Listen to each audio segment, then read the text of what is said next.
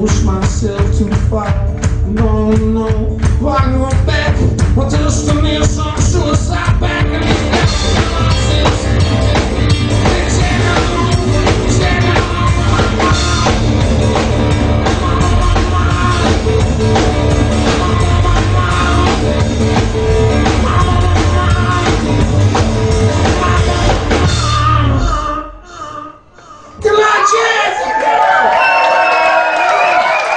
Thank you.